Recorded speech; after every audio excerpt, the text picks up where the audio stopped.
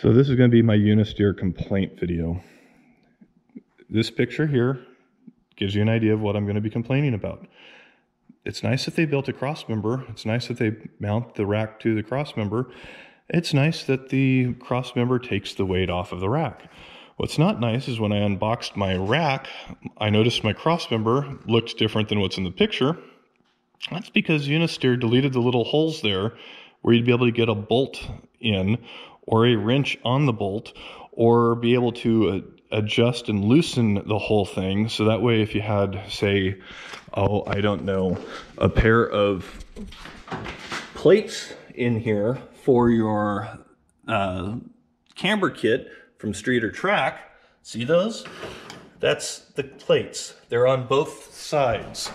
And when you go to install this thing, See that little teeny tiny gap in there? You can barely see the little hole. Let's see, where is it? You can barely see it. See that little gap?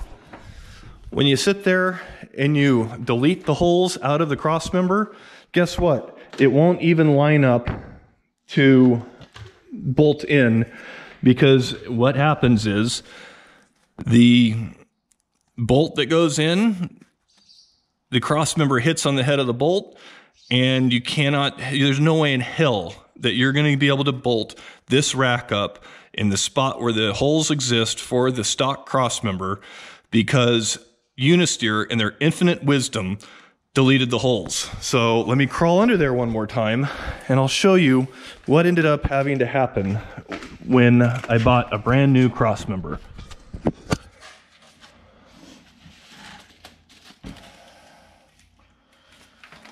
So here we are under the car. Can you see up there right behind the power steering pump or the, see the bolt? See the little square hole? Yeah, I had to plasma cut my brand new cross member so that way I could get the thing sucked up close enough to the rack. Unisteer sits here and they tells you, oh, you may have to go in and you may have to like grind a little bit of the, uh, you know, the flanges around where your lower control arm mounts and blah, blah, blah. Well, it's bullshit. The fact that they did away with those holes, having a bolt there, it doesn't matter what you grind on. The bolt is in the way. The flange, you're never going to suck down onto that flange with those holes gone. Unisteer, I don't know what the hell you're doing but that was dumb. That's like bad Unisteer, bad.